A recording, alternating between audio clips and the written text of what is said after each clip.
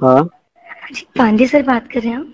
हाँ कौन? आ, आ, सर मैं रीचा बात कर रही हूँ आपकी स्टूडेंट बायो की। रिचा अच्छा हाँ हाँ रिचा क्या हुआ? बड़ी रात में फ़ोन करा? जी जी जी आ, इतनी भी रात नहीं हो रही है वैसे।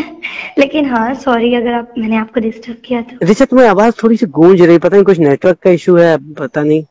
अच्छा एक मिनट एक मिनट एक मिनट। हाँ। हमारी आपकी हाँ अब तो सही आ रही है अब सही आ रही है। जी तो मैं ये कह रही थी सर कि अभी जो रिसेंटली एग्ज़ाम हुए थे हाँ तो हाँ। सर मैंने बाकी तो अपना क्लियर कर लिया है अच्छे से हम्म। लेकिन मुझे पता नहीं क्यों कहीं ना कहीं डाउट लग रहा है बायो में इसीलिए मैंने आपको कॉल किया। बायो में डाउट लग रहा है? जी।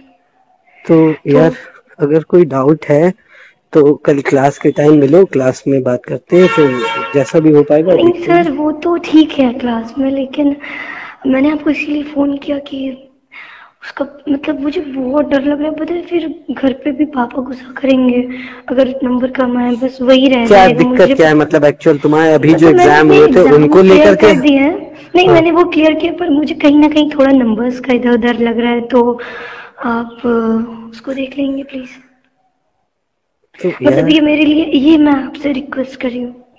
नहीं तो उसको देखने की कैसी बात कह रही हो तुम? देखो मेरी बात नहीं समझो। नहीं सर आप प्लीज़ ना आ, आप मैं सॉरी लेकिन आप अ, देखो मेरी बात सुनो पहले। जी। मेरा कहने का मतलब ये है एग्ज़ाम तुम दे चुकी हो। जी। अब वो कॉपी रीचेक हो रही है। सॉरी चेक हो रही है। अब वो कॉपियाँ जब चेक होके आएँगी तो उसमें रिज़ल्ट आएगा। तो अब तो मतलब वो तो तो सर वो बायो के नंबर तो आप ही दोगे ना? हाँ तो ये कैसी तो मुझे आ, और मतलब सॉरी लेकिन मुझे और से तो कुछ नहीं है बाकी मेरे एग्ज़ाम अच्छे गए पर मुझे बायो में मेरा कुछ ऐसे क्वेश्चन थे जो रह गए थे तो और जो मुझे पता नहीं क्यों ऐसा डाउट हो रहा है तो आप प्लीज़ कुछ कर सकते हैं उसमें? तुम अ, मेरे यहाँ कोचिंग करती थी या कहीं और कोचिंग कर रही थी? नहीं नहीं सर आपके पास ही। अच्छा अच्छा अच्छा अच्छा बायो हाँ। ठीक है ठीक है। सुनो एक काम करो। जी। आ, तो क्या क्या मतलब कल मिल सकते हैं फिर हम मैं हाँ बिल्कुल मैं मैं अभी भी फ्री हूँ वैसे। अभी तो बहुत लेट हो गया वैसे। नहीं लेकिन मुझे कोई प्रॉब्लम नहीं क्योंकि मम्मी पापा गए हैं चाचा के घर तो मैं अभी फ्री थी। अगर आप बोले तो मैं आपसे मिल के बात कर लूँ आपको डिटेल में। समझा दूँ नहीं तो मतलब क्या तुम डिटेल में समझाना चाहती हो? नहीं मैं आपको डिटेल में बता दूँ चीज़ें। फ़ोन पे नहीं बता पा रही। अच्छा मेरे तो एक्चुअली मैं क्या बोलूँ? मैं तो चाह रहा था कि कल देखो संडे है। अभी तो उसके बाद मंडे को फिर मंडे ट्यूसडे शायद रिज़ल्ट आ जाएगा कल संडे है अगर कल फ्री हो तो हम लोग चलते हैं कहीं घूम के आते हैं थोड़ा सा टाइम साथ में स्पेंड करते हैं।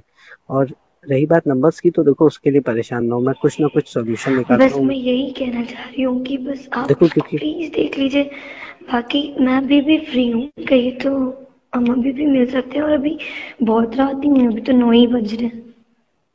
कल हम्म, संडे भी है। हम्म, हम्म, हम्म, हम्म, हम्म। तो तो तुम्हें अचानक से इतनी रात में कैसे ये सब याद आया? तुम पहले भी तो बात कर सकती थी।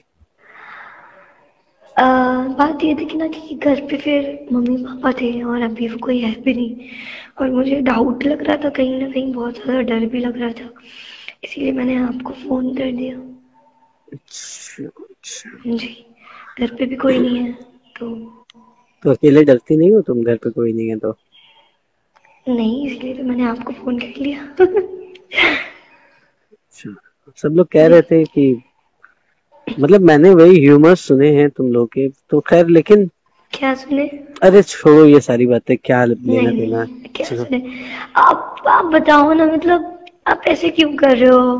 नहीं आ, मैं तुम अच्छा श्रीवास्तव बताओ ही तो बात कर रही हो ना मैं तुम एक्चुअली नंबर नहीं सेव है तुम लोग का एक रिचा मिश्रा भी है मैं आप तो बेइज्जती कर रहे हैं आप नहीं नहीं। क्योंकि कंफर्म नहीं था ना दो रिचा हैं अपने क्लास में तो वही। हम्म। तो नहीं मैं रीचा श्रीवास्तव बोल रही हूँ। हाँ तो सब तो कॉलेज में बताते हैं कि सैम से तुम्हारी ज़्यादा बातचीत होती है। मतलब वही कोचिंग में तुम लोग की तो बातचीत सब लोग फ्रेंड है वो तो मेरा फ्रेंड है बस। नहीं मतलब मुझे कोई ऑब्जेक्शन नहीं है मतलब जैसे तुम्हारी लाइफ वैसे चल नहीं। ज़ीरो बस ये था कि तुम अभी तो रात हो गई है मेरी वाइफ भी है आज घर पे तो मेरा अभी तो कहीं निकलना पॉसिबल नहीं है लेकिन तो आपकी शादी हो गई? और क्या मेरी शादी हो चुकी है पर लगता तो नहीं है सर।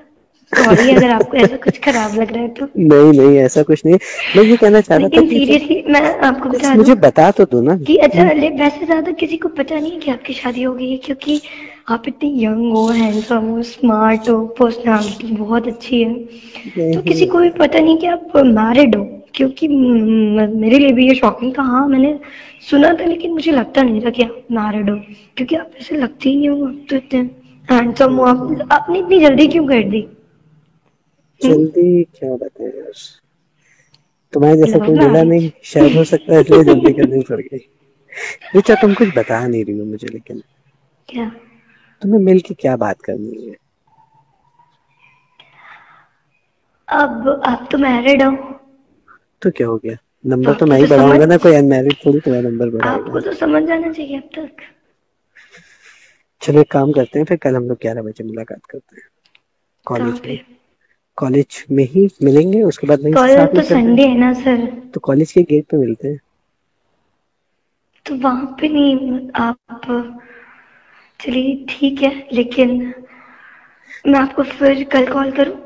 कल कॉल करो सुनो मैं या तो अभी ट्राई करता हूँ अगर पॉसिबल होता है तो मैं विद इन फिफ्टीन मिनट्स तुम्हारा घर का तुम मुझे लोकेशन भेजो मैं आ रहा हूँ। ठीक है ठीक है मैं आपको